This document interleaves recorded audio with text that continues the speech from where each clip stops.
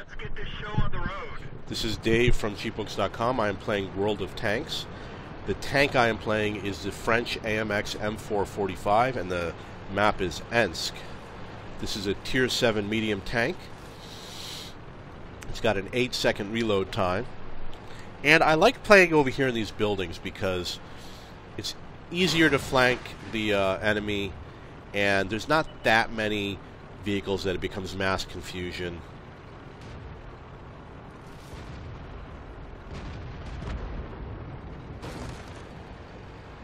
And of course, there's a lot of easy targets. Target acquired. Enemy is hit. Hit. I definitely don't want to get hit over here. So I got to keep on moving. Target released. We're immobilized. One of our trucks is damaged. Ready to fire. One of our trucks is damaged. Penetration. I wish I had a fast reload time.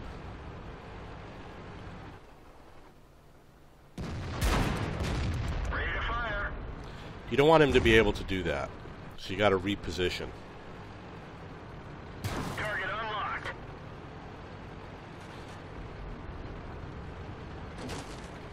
Target acquired.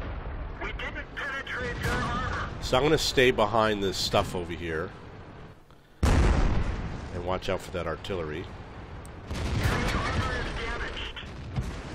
Even everyone's apparently going to shoot at me. We're done for. Everyone get out. Okay, now I died early, but hopefully the spotting damage that I did.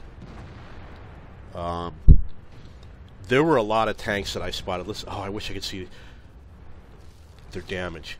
What happens is when those tanks were shooting at me, I was the most forward advanced on my team. And when those tanks were shooting at me, I was spotting them, even though they were, uh, you know, they're shooting at me. Their gun goes off, produces smoke. I'm closest to them, so I spot their tank. And even if I don't shoot back, my allies were shooting at them, and the damage that they cause, I get some credit for. So I got some credit for a couple of tanks. Um, I just I don't know if I destroyed anything, but uh, whoever did, I got the credit for those for that destruction in terms of uh, spotting damage. Uh, it's called damage caused with your assistance. So this tank is actually going to show up in probably the top half for my team. The way the game works is that there is a limited number of hit points. If you total up the hit points for every tank in the game, there's a maximum number. This particular tank has 1200 hit points. So let's imagine that every tank has a, an average of a 1000 hit points and there's 15 tanks. That means the enemy team has 15,000 hit points. As you hit those tanks, you're getting your share of that, and they might not all be used up during the game.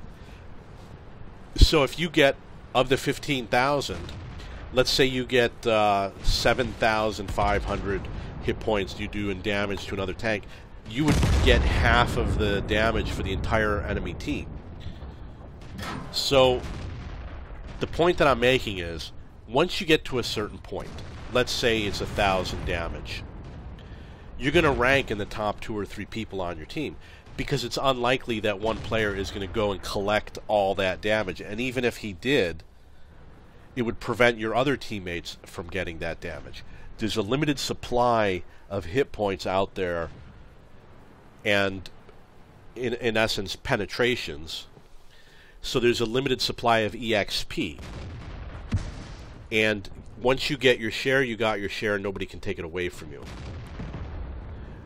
Um, so you want to get your share, which is, let's say, a, a, tank for a tank. You want to destroy at least one tank, and you're doing average for your team. If you can get the penetrations in to kill one tank, there's no reason why you shouldn't show up approximately halfway on the experience for your team.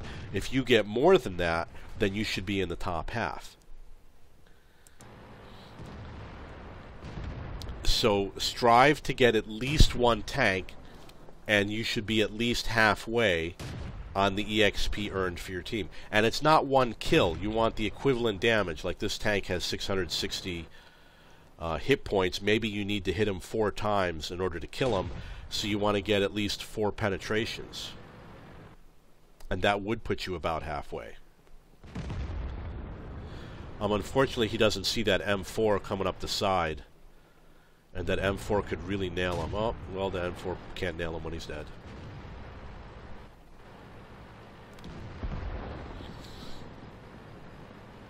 Oh, he's going up against the Tiger 1. Tiger 1's a difficult tank. He should go up against that KV-2 instead.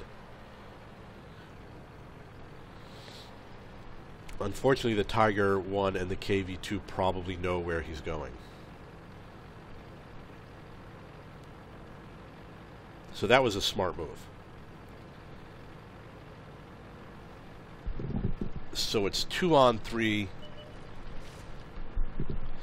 Let's see, is that the Tiger? Yeah, it's a Tiger. The KV-2 appears to be running away, the, the, unless he took a, a run for the south and is hiding somewhere in the south, and, and we missed it. Uh, the T-25 could easily destroy a Tiger. There's the KV-2.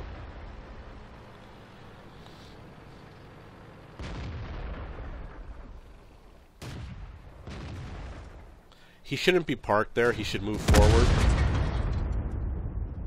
Where he was parked, both of the enemy tanks could shoot at him. Uh, so that's not good. He should have moved to another position where only one enemy tank would be able to have a shot on him.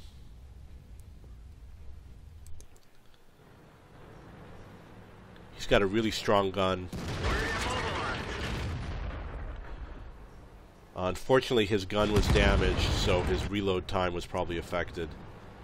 This KV-2 probably isn't going to destroy both of those tanks. However, I don't know which gun he has. There's a chance he's got that big gun, and if he's got that big gun, he can do a lot of damage.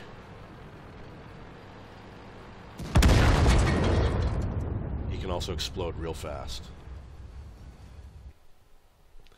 Okay, so let's see how I did. I'm predicting I'm going to be about halfway for my team. Uh, being a team loss means, of course, we won't get as many hit points. I spotted a lot of tanks.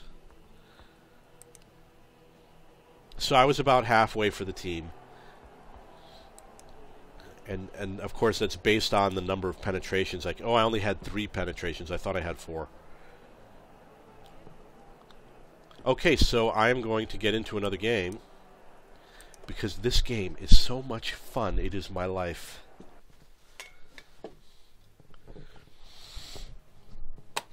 Okay, Redshire. Hopefully we'll have a better game.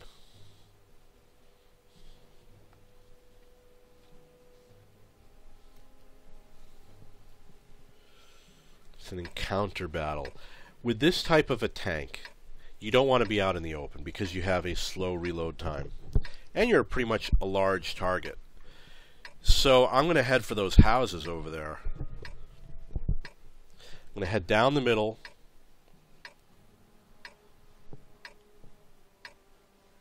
And it's going to be where those houses are. I like to be in the mo the most difficult area. I don't go and hide in the back and things like that. So being in the center is somewhat of a difficult area. You'll have a lot of people shooting at you, but you also have a lot of targets to shoot at. And the key is you have to know how to move your tank. You have to know how to uh, how to move it into a position where you can hide. There's not a lot of houses over here, but I'm going to do the best I can.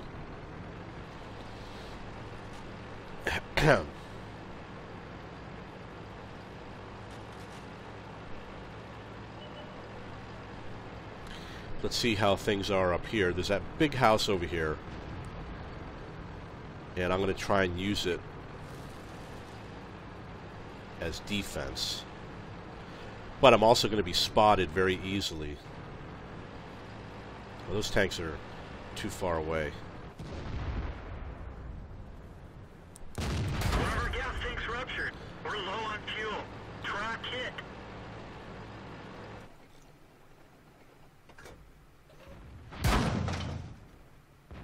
That was going to be very difficult, but not... Oh, he moved. Oh, this is difficult. Don't shoot me. Shoot the IS-6.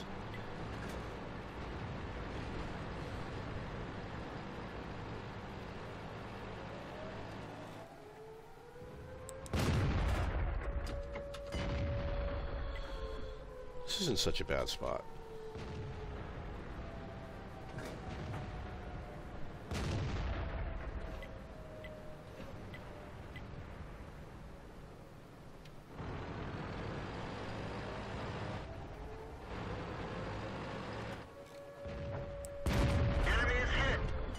Tank right next to me I gotta be worried about. He's going away. They killed our driver. We're covering his position, but not very well. There's no enemy artillery.